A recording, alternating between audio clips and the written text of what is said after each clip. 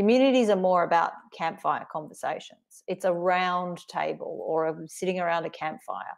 And followings do not create that kind of scenario. Um, and they don't have the rituals that community have. They don't have that sense of shared purpose or values.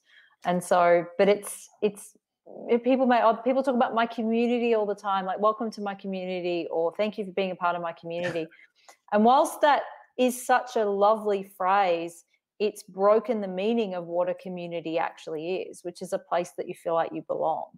You can like somebody's content and really identify with it, but it's not a community.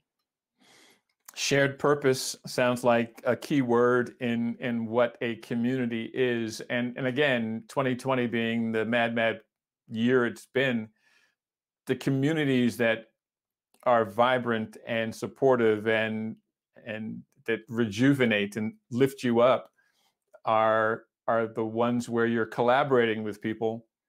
You're not being led by anyone. The community is almost like an organism into it in and of itself that is just supportive and and has a shared purpose. And the shared purpose oftentimes is just caring about the person to your left and to your right and in front of you and in back of you.